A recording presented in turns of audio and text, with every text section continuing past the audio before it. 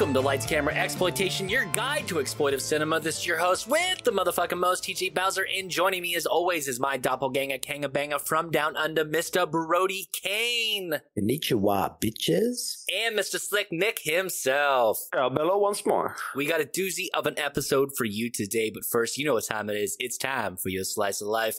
Brody, tell us how your week was. It's been not too shabby at all, Mr. Bowser. Um, yeah, like I say every week, fucking flat out at work.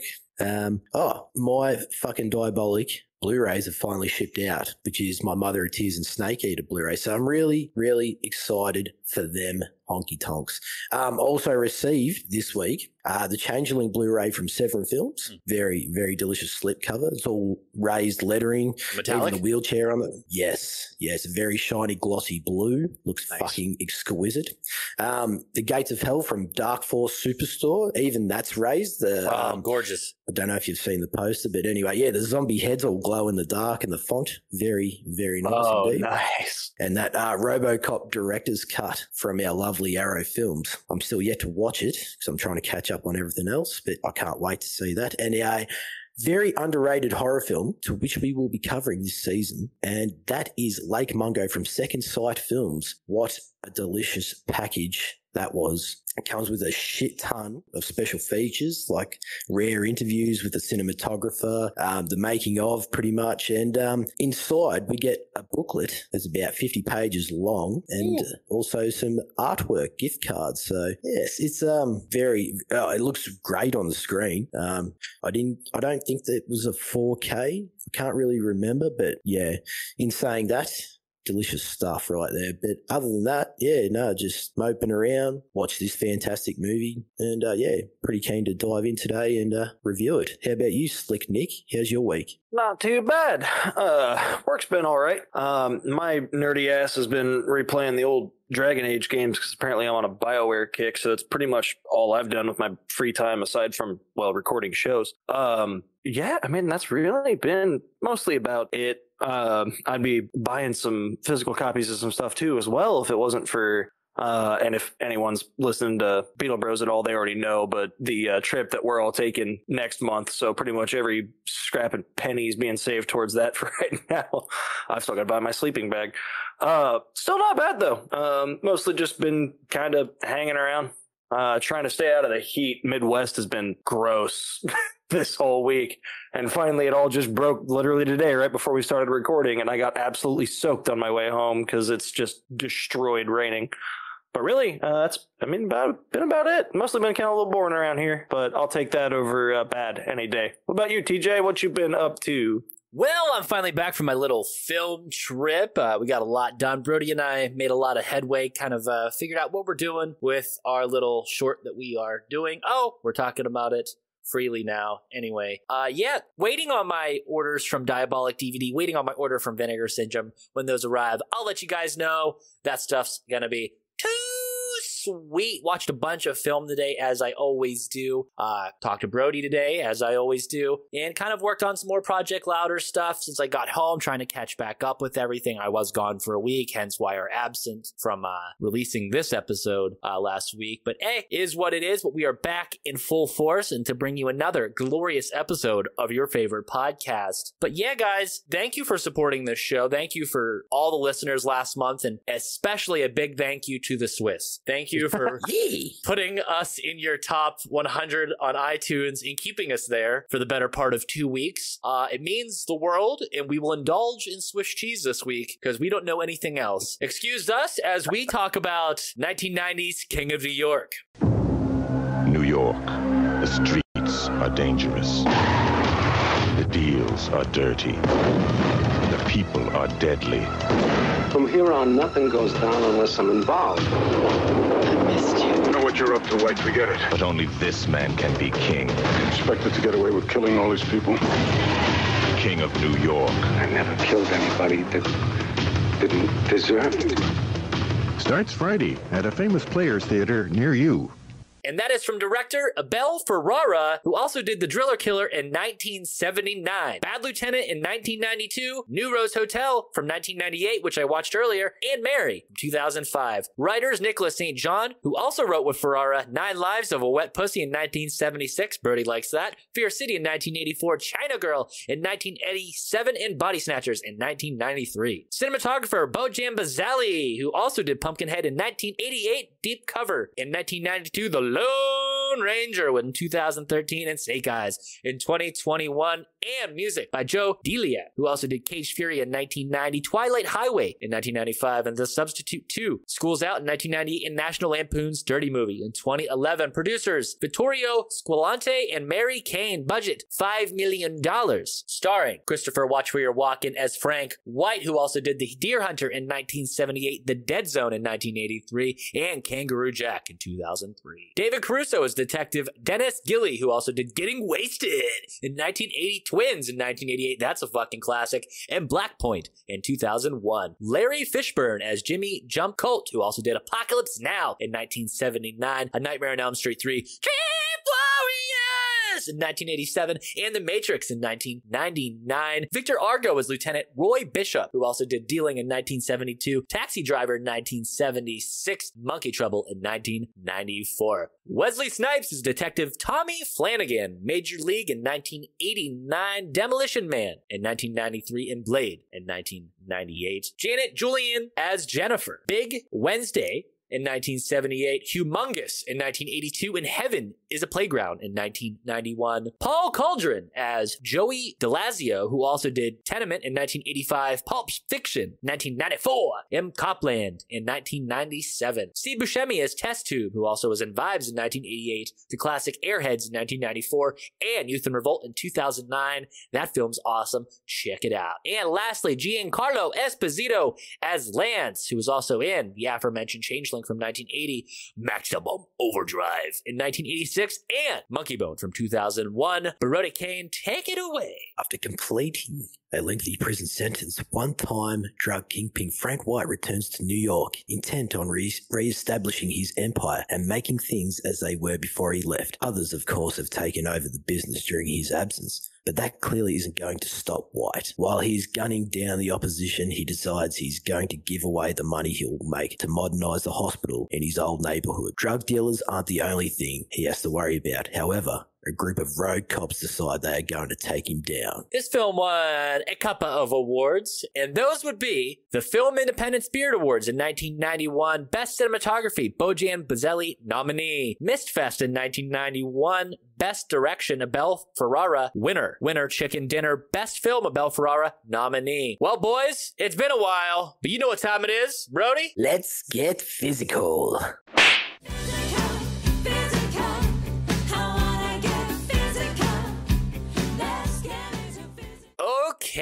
So this week's film has got a release from Arrow Video from November 16th, 2020, and it features a lovely new 4K restoration from the original negative by Arrow Films, approved by director Abel Ferrara and cinematographer Bojan Bazelli. High definition Blu-ray 1080p tr- presentation on your normal release of that, not the 4K one, an LPCM original stereo and remix DTS HD MA 5.1 surround audio options, optional English subtitles for the deaf and hard of hearing and for those who have kids, and audio commentary by director Abel Ferrara and another audio commentary by composer Joe Delia, producer Mary Kane, which is not Brody's mom, casting director Sandy Sabuasa, and editor Anthony Redman. Interview with director Abel Ferrara, an interview with producer Augusto Caminito. Abel Ferrara, not guilty, a documentary on the director from the French TV show Cinéastes de Notre Temps, a short film about the long career of Abel Ferrara, a documentary looking back at the director's career, including interviews with his key collaborators, original theatrical trailers and TV spots, image gallery, reversible sleeve, featured newly commissioned artwork by Tracy Ching. This particular release is Region B locked. It also has a UHD 4K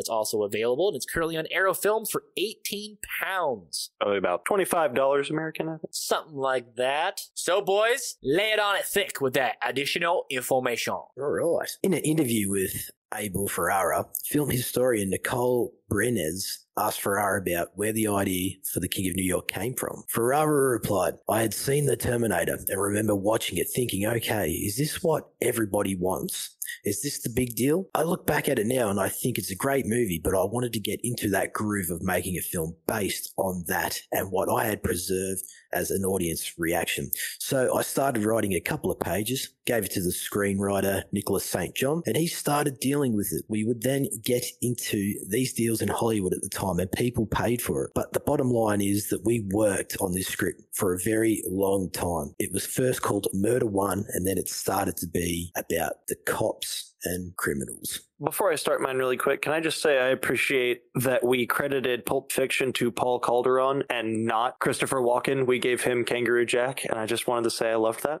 I put the money in the jacket and the jacket on the kangaroo and now he hopping away. Um,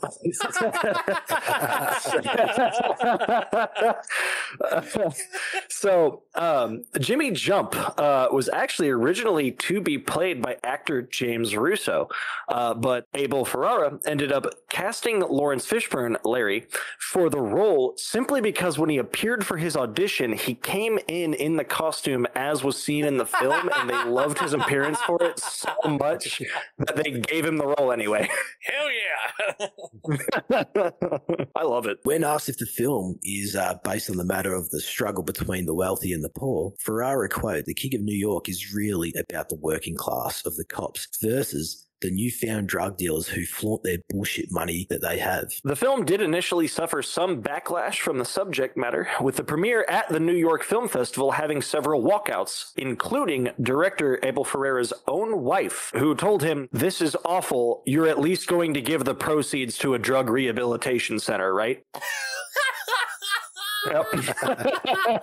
Having the budget being five to six million dollars, Ferrara states we went to Italy and had lunch. Then somebody gave us a check for five million. Can you imagine that? Okay, those days are over. Forget about it. It ain't happening ever again. I'll actually come back to that as well here in a minute. Uh, so, actor David Caruso actually was the one who petitioned for Wesley Snipes to appear in the film, as they had been working together on a TV show that never did fully materialize. Snipes at the time was reportedly living out of his car, though their appearances in the film worked out well for both of them, as they went on to be cast in NYPD uh, Blue and New Jack City, respectively, which launched their careers. When asked about describing Christopher Walken's character, Frank White, in the film, Ferrara simply states, the guy's a stone cold killer. Sure, you can have all of these reasons and a rationale, but really, where's the bottom line? If you take that film as realistic, how realistic can you take the film? I mean, you don't take over the drug trade in three days. You don't come out of jail and take over the Italian mob. So the metaphor for a guy with what he tried to do with a vision, who was saying, okay, my money is going to pull people together and be a socialist mob. But basically the guy's a dreamer and he knows that he has little time left. An extremely compilated character. Uh, Lucille M. Oliver, uh, who, spoiler alert, plays Frank's hostage on the subway nearing the end of the film, had actually never acted before uh, in this mo- uh, until she appeared in the movie. Walken apparently prepared her for the scene by telling her, "I'm going to do something awful to you." But I will not hurt you.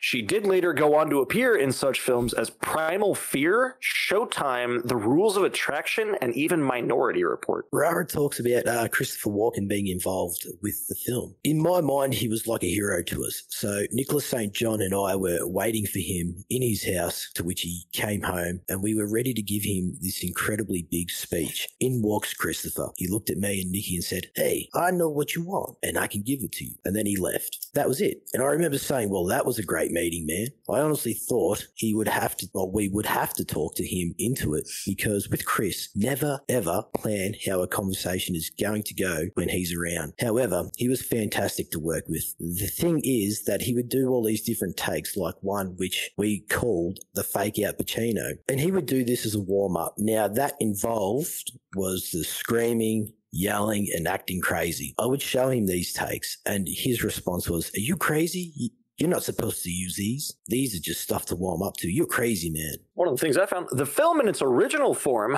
was about two hours long and was actually set to receive an X rating, uh, due in part to the initial backlash. This was dropped to an R rating only after nearly an entire hour, about 50 minutes or so, ended up being cut from the film. Release that director's cut. See, I want it because it's going to be like twice as long and it's got to have so much more awesome stuff.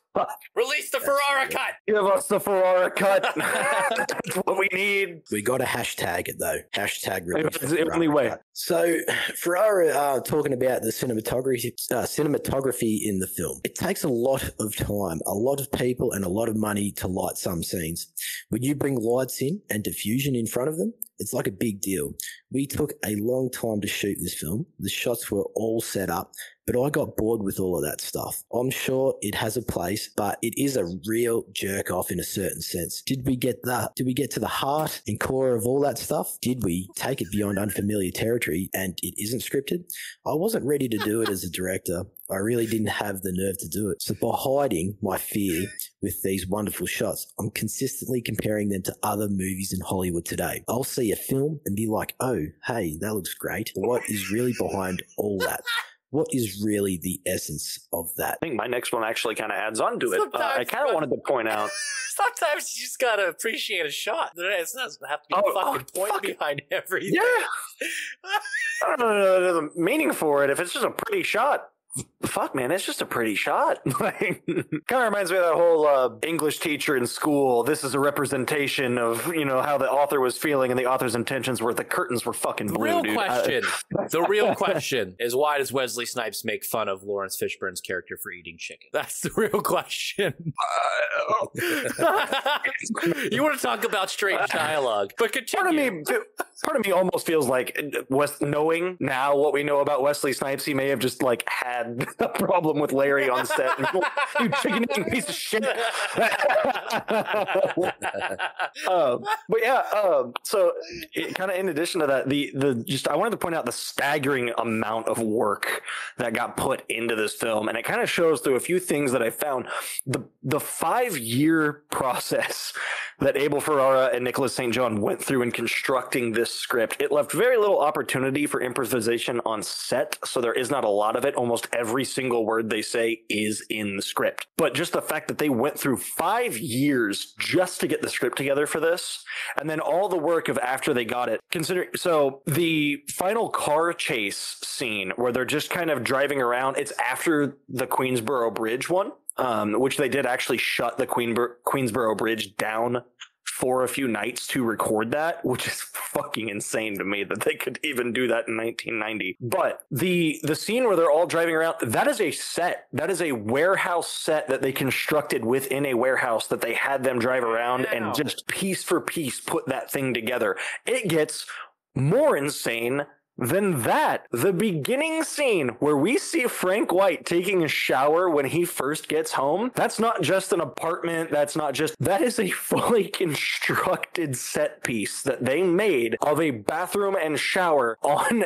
a rooftop of a New York City building that they shot all of that within because they were already on site and just built the thing to shoot the set in it instead of getting in an apartment or anything like that to shoot it. They put blood, sweat, and tears into this fucking thing, and it shows. Know, Seriously, reading it, I was just like, "There's no way they spent the time and money to make a fake shower to put on a rooftop just to video Christopher Walken washing his hair." You're kidding. So uh, basically, Ferrara talking about collaborating with uh, the mu- or collaborating about the music with Joe Delia. We really did some cool work by using the subway, to which we were programming the effects of the confrontation of the subway being scored. We switched off, and it was going to be more of a uh, trumpety, jazzy score, which Nicholas St. John hated. So we changed that. I kind of like that though. There is that long uh, shot uh, from the point of view of someone sitting on a train. And that basically shows you the score of that scene. I really like how that plays out. Just gives it that more realistic um, element to it. Gotcha. So yeah, no, I I actually really like that one too. I always love when they do a shit like a city establishment shot and it's you know that POV from just like the train or anything like it, it's always great, especially whenever the music's really good for it too. Um, so According to Ferrara, uh, former President Donald Trump actually at the time gave him permission to film at the Plaza Hotel at no charge on the condition that Christopher Walken would pose for a photograph with Ivana Trump, who was a major fan of the actor at the time. They look great. They look so good, so beautiful. Oh God! I, was I I looked and I was like, TJ's typing into the thing, motherfucker. Ferrara talking about the realization and success of the film um, basically states that the film was not a big hit and they did not want to sell it as a gangster movie because there was this racist attitude and black kids were going to tear up the cinemas, especially being a black gang movie at the time. It was all this racist bullshit. So really the film should have been sold for what it was. It was a violent gang movie with a black hip hop soundtrack. But over the years, it's become more of a film that people don't really shut up about. Man, that's fair. I can almost get it. Kind of adding on to that. I didn't actually have it in my notes, but um, Biggie Smalls uh, was actually a really big fan of this movie, and for a lot of his music, he released it under the moniker Frank White. Yeah, that I noticed that one in the there. I actually knew that I'm a rapper fan of his. to ever exist. Biggie Smalls, fuck yeah, dude. I'm a huge fan. I, just, I actually just knew that one. Um, but yeah, uh, so the calling back earlier to when he said that someone cut us a check for five million. The film was partially financed by the richest man in Italy at the time, Silvio Berlusconi, Whoa! who provided funding through several intermediaries, including New York based attorney and producer Jay Julien, who has also represented actors Robert De Niro, Joe Pesci, and Harvey Keitel, who's also worked with Ab- Abel. Jay also does make a small cameo appearance in the film as well. Ah. Was not able to find it. None of the things that I could find about that said what his character was. So it was just looking through a sea of faces in New York City and going, one of these is an attorney, which it's New York. So 75% of these people are attorneys. So, uh, Ferrara's final thoughts on the film. He quotes, It's not all about destruction. The point of the film is that you have to self destruct, to reinvent and recreate yourself to rise above it all. I like that. you too. It's nice. Um, and just to close it out, I suppose the final one that I had um, was just kind of about the production. Uh, so the production of this one was actually relatively smooth. Uh, the crew never actually had to spend more than one day at each filming location uh, throughout the city. They did film on site in New York City. Uh, the overall filming process ended up being wrapped up in just 40 days, which, thinking back to the fact that they shut down the Queensboro Bridge to film, that they didn't have to spend more than one day doing that is fucking nuts. Like, that's actually insane to me. So, that bridge, is that like the main bridge of New York? Or One of them. I wouldn't have a fucking clue. It is. Um, it's the main bridge between, I believe, Manhattan and the entirety of Queens, like the whole borough of Queens. Um, yeah, it's one of the oldest and most like important bridges in New York City. Like the fact that they shut that down, period, is nuts. it's it's pretty it's pretty much like the iconic uh, bridge in like a lot of gangster movies, like Once Upon a Time in America. I think it's on the front cover. Is that the one? I think Yeah. so. I'm pretty sure it's probably one of the most iconic bridges in New York, at Yeah. at the very least. Um, but yeah, it's definitely one of the most well known for a reason. Fucking a. Mm. Okay, boys. So if that's all you guys have, let's talk about it.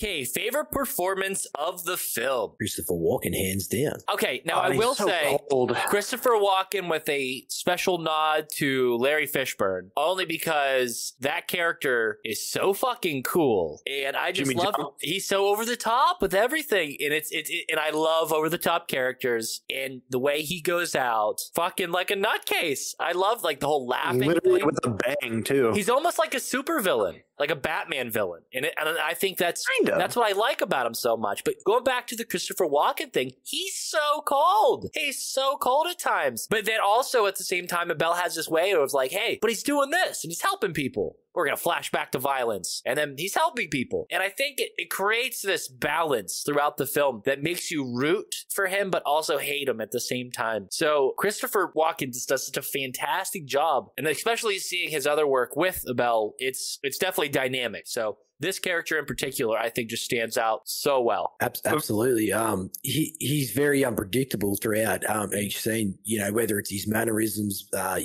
I guess you could say body posture, even his facial expressions, and it's the way he comes across. And you, you you're not going to know how to take him. And but what, yeah, I really like his um, he gets out of prison. He's happy to see everyone, and by the end of the film, he's a stone cold fucking killer. I mean that scene, which I will elaborate on later at the funeral. Holy fuck, did that caught me off guard. But yeah, you know, um, Abel Ferrara is um, all about that character development, and I think he fucking hit a home run with uh, Watkins' character, hands down. And Larry Fishburne's, he was coming in at a close second for me, uh, close first for me. Fuck. Oh yeah, no, I was I was about to say, uh, I actually had just slightly the opposite. It may just be because I have a bias towards Lawrence Fishburne. I love Lawrence Fishburne and everything, especially when he's playing over the top characters. My favorite was probably Jimmy Jump because he does, like TJ said, have that over the top, almost comic book villain. He's like the Riddler esque, and especially, yeah, his his death scene um is just insanity like purely just him riddled with bullets, just laughing like it's the funniest thing he's ever seen, even though he knows exactly what's about to happen to him. And he's just like, well, I may as well just go out as insane as I've been this entire movie the whole time.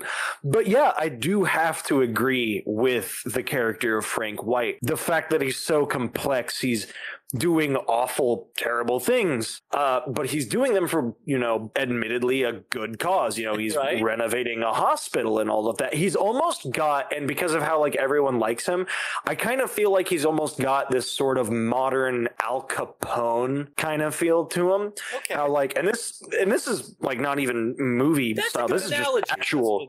Say, yeah, like it's, and it's not even in movies. Like he legitimately did this in real life. Al Capone would speak with the press about his moonshining businesses and talk about how he was building the city up and everything from it and the government was dumb for outlawing alcohol and the prohibition. They were. But it was literally just even though everyone knows he's orchestrating you know like the valentine's day massacre he's having people lined up and shot in the street and things like that people still liked him because he was a public face. He was a warm personality. He could talk to you as a person and you would think he's this warm guy and meanwhile in the background he finds out two guys are plotting behind his back and he's beating him to death with a baseball bat at like a dinner. Like it's just this brutal under the surface, nice guy to your face. And yet at the end, they're still doing good stuff, but equally shitty things. And I just, I, I don't know. It's kind of what I got out of Frank's character. Really liked it. Really liked it. Okay. Favorite set piece, boys? The beautifully lit interior of the hotel that Frank's staying at. I thought that was, that looked fucking fantastic. I mean, bit of tungsten lighting behind the characters, you know, it makes them really pop. Yeah, but the production design, you know, the, that that big open space filled with rich aesthetics, and uh, it just looks beautiful on screen. Um, a nice and cozy rich man's uh, drug palace. I thought that was pretty cool. And to see like Jimmy and the boys rock up there, it's like yeah, it looks so out of like out of place there, but they fit there as well. It's just so fucking. I don't know how that dynamic plays off when we see it. Looks I like it's just kind of like because they're part of Frank's family almost. Like he like he likes them so much because he I mean he ride or die with them for like the whole movie. Like I almost kind of felt like because it does happen in some where you get sort of the like big boss of the gang treats their underlings as expendable and he never does. Which i think also adds into the character like we were talking about. But like they, it, it makes them feel like they're supposed to be there because he's in charge and to him they are supposed to be there. They're his people. Um yeah no i mean that's a really good one. I think i had i had the nightclub where the final shootout took place. Boom! I really liked it.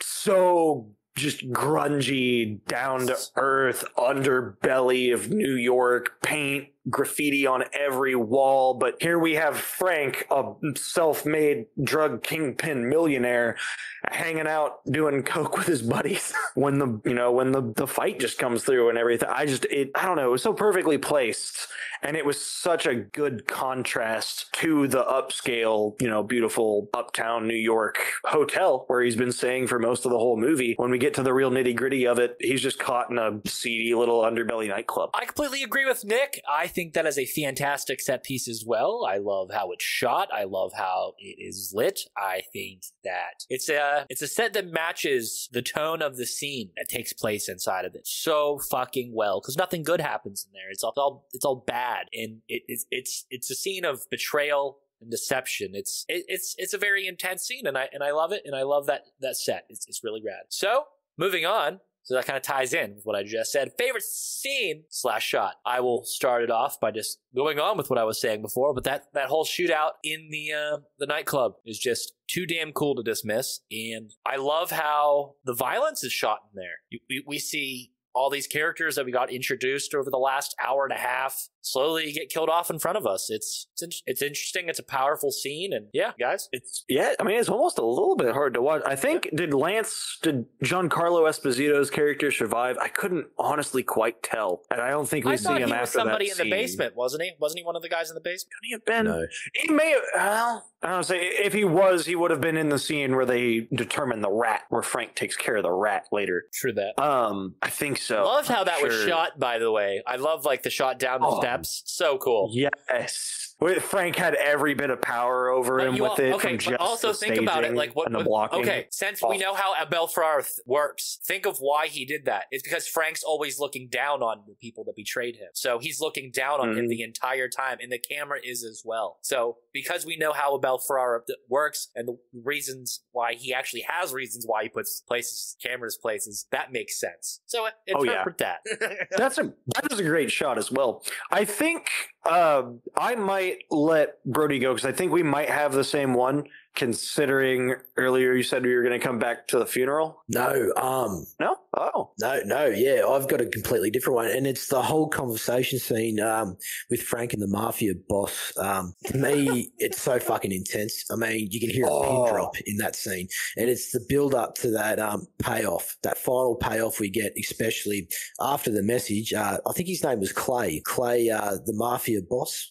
Anyway, uh, Ah. he was to give to Frank. So you know he was uh, he knows about this message and he isn't fucking around. There's so many um, that I don't know. There's so many scenes in this film that I fucking love so much, and I've got to give a shout out to Laurence Fishburne. Um, even when he's buying everything in the chicken store, and, um, and it's so fucking great. Yeah, can I help you? Can you help me?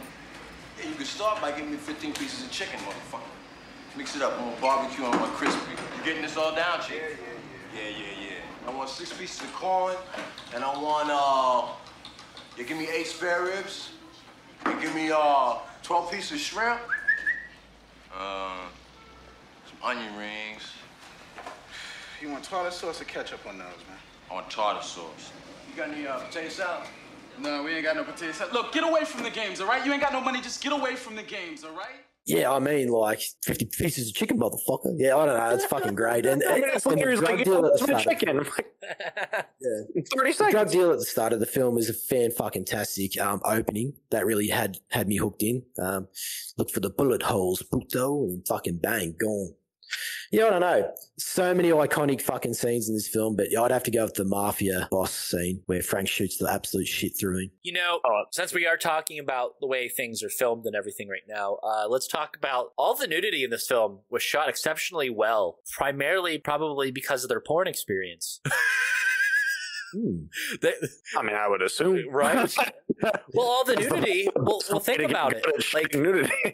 okay, this film, okay, this podcast uh, started with Crash. So you saw how th- nudity was filmed there. This was filmed almost with the this was filmed with the same attention to detail in a, in a very stylish way, and I think that. Their previous work in the porn industry lended a hand to some of these awesome shots of the female body that we see in this film, especially the interior shot of uh, the train while they're making out in the train. Such yeah, good that one camera actually work. came really unexpected to me as well. Where he's like, "Well, ride the train." I'm like, "Oh, they subverted it." No, they didn't. it's like, "Oh, nope, it's there." Okay, all right. Well, I mean, even then, still, like, bang. Yeah. no, no, I know. And the nightclub, Yeah, we get some pretty cool shots of some dancing. Like, I just think it's, I don't know. I just think those stood out because I think they were well done. Like, sometimes it's done just sleazy, and I think that this is just done the proper way. It's more artful than it is sleazy There you go. by long shot, I will say. And yeah, I'd say it's it's been done even better than per, like previous movies we've talked about in episodes already. Like it's probably one of the best. Out of Nothing's everything pre car crash boob flash, but this is this is this is Oh, pretty right. cool. Favorite? Uh, I will. oh, Nick. Sorry, um, I I don't think I actually finished my, my favorite scene. Oh, um, because I I thought Brody and I had agreed on it, but uh, uh, it was the the funeral. Um, it was Dennis's death was mine. Um, just because of kind of the subversion for it. Because while you're watching it, while he's there and he's at the funeral, and this might be a bias for me because I've seen stuff like um, Law Abiding Citizen, um, and things like those, where it's like you, you at the funeral and you expect it to be safe to some degree, you know, especially because it's a cop's funeral. There's cops everywhere. And then he he runs off. David Caruso's character Dennis runs off back to his car. You know, he's mad because he's a fucking idiot. And he never should have done anything that he fucking did the entire movie. And his boss was telling him not to. And he and Wesley Snipes' character Tommy just did. And now Tommy's dead. I'm assuming he's blaming himself. You know, he's wrecked with emotions. He's blaming Frank. and All of that. And he's sitting, he's punching steering wheel in his car and all of that. And the limo rolls past. And I was almost just expecting, because of where it was, for Frank to just go, Oh, it's your fault or something. I knew it was going to be him, but just the, Hey, you. And he looks up and his head's gone. He just gets shotgun straight off his freaking butt. I was like, eh. And now this is my favorite part of the movie.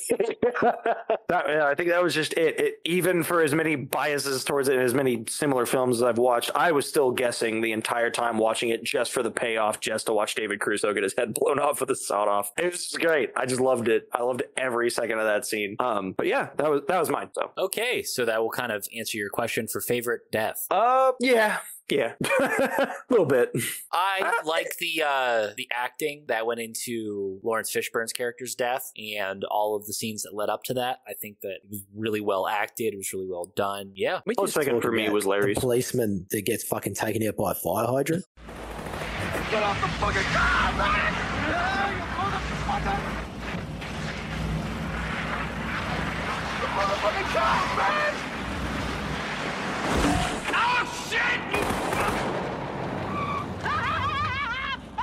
Nobody rides for free, motherfucker! Oh man, I know that one was brutal. The crunch, the sound design on that one, you his head, like his skull, just connect. Man, it was oh, it was brutal. I had actually uh, the funeral death um, as my favorite at death because the first time I ever saw that scene, I actually fucking jumped, and it was big, one of the biggest at the time. What the fuck moments in cinema history for me, and um, and when I think or hear of this film, my mind instinctively goes directly to that death scene every single fucking time. It's absolutely brutal and I love it. And it just goes to show how incredibly dark Walken's character is at this stage. He is going, fuck these guys. I don't care where they are. I will let you know how powerful I really am. And I am a force to be fucking reckoned with in this short time of my existence. I Seriously, love it's great. I, that scene is incredible. The fact that he's he literally rolled up to a police funeral to kill a cop in front of a bunch of other cops at a police funeral, like it, it's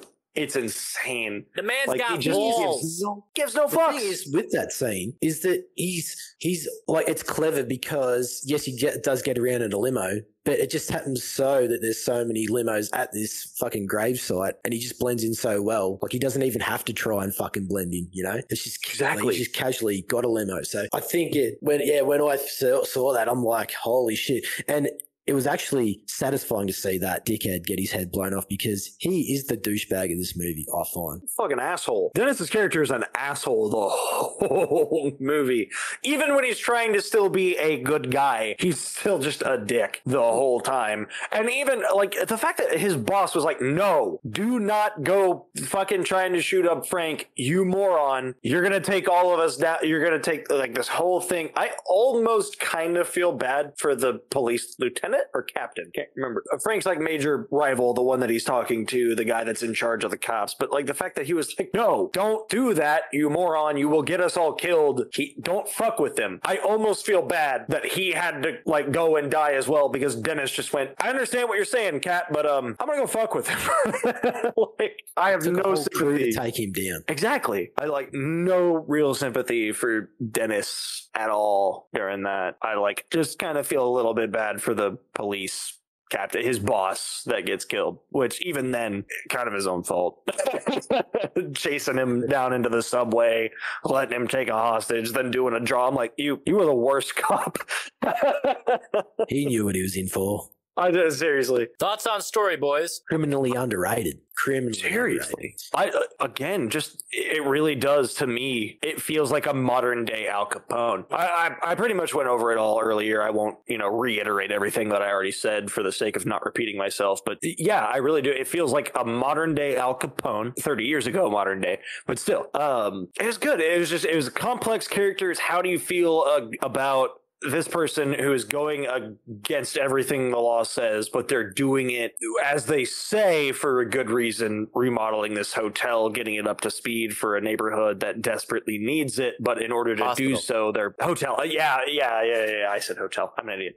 Hospital. But yeah, uh, you know, it, this neighborhood that desperately needs it and all this, but in order to do so, they're selling drugs, they're killing people en masse, damn near. But like, and then even the good guys that are supposed to be taking him down are the bad guys. They just show up and just start murdering them outside of, you know, all of that. It's just no one's a good guy and no one's a bad guy. Welcome to New York, kind of. There's one scene in this film that sums it up perfectly, and it's when they're all the cops are sitting at the bar, and um, you know they break it down to that they're the ones that are poor for doing good things, and he's rich by doing bad things. It's pretty much the whole story as it is, but they capture that realism perfectly in that scene, and it sums the whole film up beautifully. That's what I like. But the thing is, Abel didn't really try and throw it in your face as well. Like he, he lets you, the audience, obviously flush it all out and elaborate on it as the film rolls on. But yeah, I just really like that scene, and I just had to mention that as my thoughts on the story. It's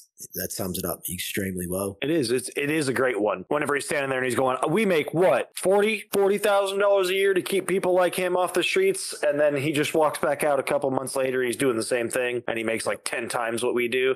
I un- I understand why he was mad. Like I get it. Like yeah, This film is a organized crime film like none other, especially for the audience in the United States. I think that this film came about at a time where a lot of this stuff was tough subjects, especially race issues. And you can call this a racist film. I don't see that. Maybe some of the things are said, but it also shows the depravity of some of these people as well. Uh, I think that this film is extremely diverse and inclusive of all sorts and types of people. I think that uh, that is representative in a lot of Abel Ferrara's work. I love some of the mo- of some of the more unique shots and stylish shots in this film. As for the aforementioned uh, stylish nudity shots and some of the uh, shots that actually have emotion and reasoning behind them, I think it's everything's really done well. I think it's edited well. I think it's put together well. I love the flow. I love how the attention to detail paid off in the long run and having such a loaded cast allowed for such unique characters to grow within this very unique script. And I think that it's just so well done that nobody else could have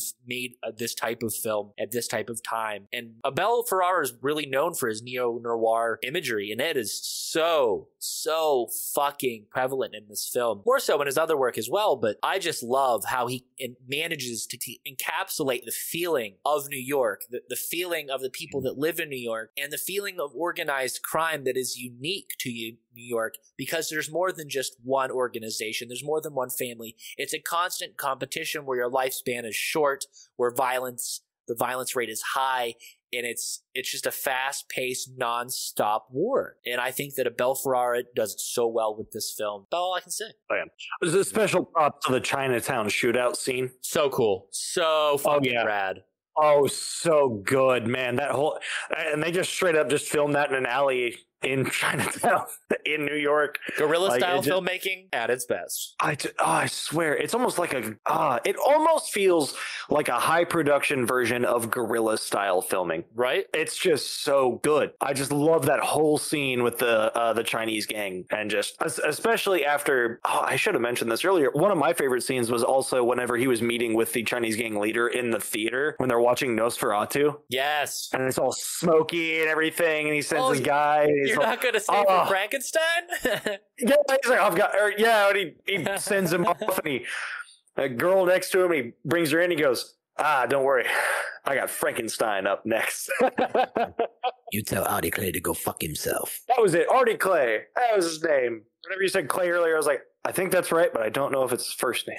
Anything else before we get on to our final point, boys? Nothing from me, I don't think. I think I'm good. I'm pretty a okay, Mr. Bowser. Okay, so impact and takeaways, boys. Nick? I mean, I can absolutely see the impact for this one. Um, this definitely, definitely bled, uh, I mean, into the other mafia films of the time. The 90s were a big time for like organized crime movies. Um, uh, cut to the chase for it. Goodfellas came out, what, one, two years after this? It had a, a much different approach, but at least to the action scenes, it feels very similar. 1993's uh, Innocent Blood. It is a vampire organized crime film that takes place in Pittsburgh. I now need to watch that. Uh, there is cameos from Dario Argento and Ted Raimi. Why am I not watching that right now? And it Um, features some of the Sopranos cast before the Sopranos. Stop. I can only be so erect. You have to quit. but uh, yeah, no, I mean, I definitely see elements of this in subsequent organized crime films. Yes. Goodfellas, I've already named. a few years after uh, 96, I believe, or 95, Casino.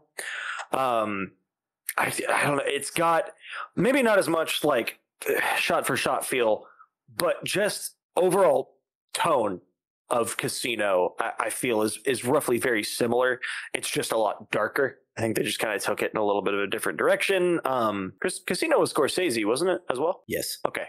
So I thought, um, he usually does kind of go in that direction a little bit more. He gets to be just a bit more brutal with it. Um, I definitely feel like this 100% influenced the the mafia movies and such that would come out at least in the subsequent years for the rest of the decade.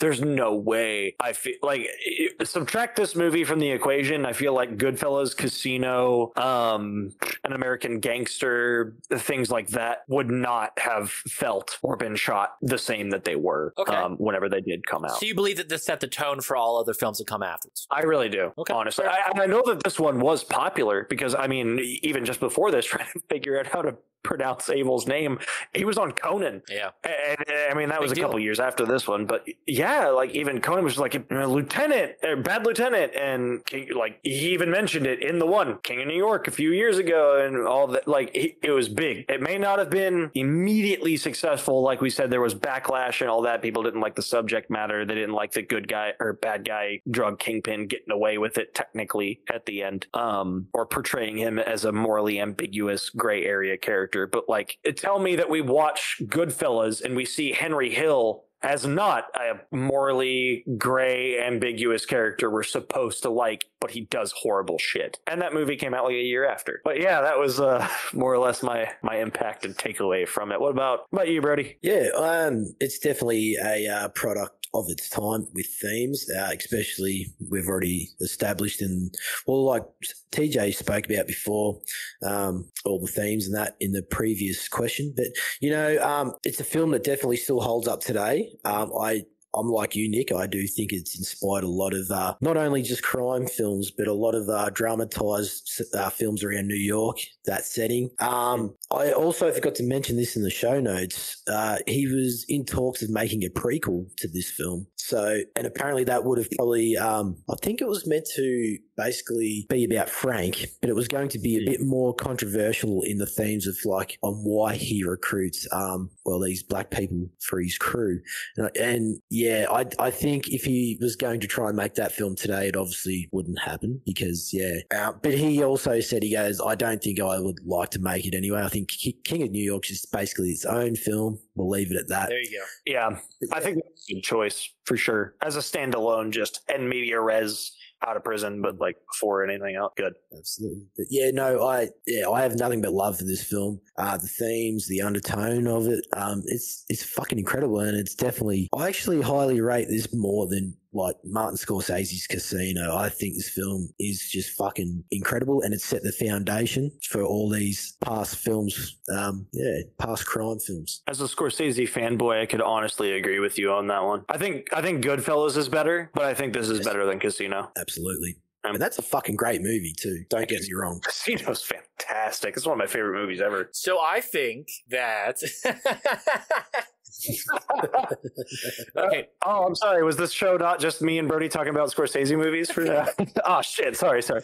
this was actually my introduction to Abel's work, and I have to say that I'm actually a fan now because of this film. I like I said, I, I did watch New Rose Hotel before the show, and that fe- featured the lovely Asia Argento, and I enjoyed that film as well. And we'll probably, uh, I hope, talk about that in a future season. Stay tuned for more on that. But yeah, I think he just has a very unique way of storytelling, and like, like not gonna just re-say whatever you guys already said, but like again, you see the impact, you can feel these tones just how you can see how it's replicated on in other films in, in some way, shape, or form. It's it's great. But anyway, boys, let's rate this son of a bitch, and we're gonna rate this. Nick, Um, I'm gonna have to give it. I'm gonna go with a 4.25.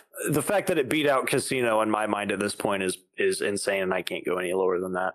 I can't give it below a four. Uh, 4.5. I'm gonna give it a four. And that is a lights camera exploitation score of 4.25 out of 5. So, Slick Nick, what's next episode? We're gonna watch Shaft. 1971. That's right. And we will be back at the same bat time at the same bat channel. This I promise you. Yeah. So stay tuned for more exciting episodes from us guys. Thank you for tuning in to another episode of Lights Camera Exploitation. And remember to head on over to projectlouder.net, your source for pop culture and so much more. And check out some of the other great podcasts over there. And you can find them all on Spotify, iTunes, Audible, and anywhere else you listen to audio only content. This is your host with the motherfucking most, TJ Bowser, signing off. This is your doppelganger Kangabanger all the way from fucking down under saying sayonara, bitches. Slick Nick saying, "See ya next week, boys and girls."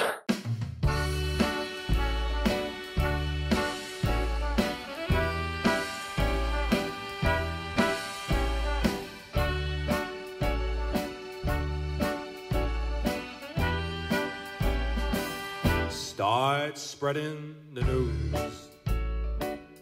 I'm leaving today. I want to be a part of it. New York, New York. These vagabond shoes are longing to stray right through the very heart of it. A New York, New I want to wake up in a city that doesn't sleep and find I'm king of a hill atop of the heap. These little town blues, they are melting away. I'll make a brand new start of it in old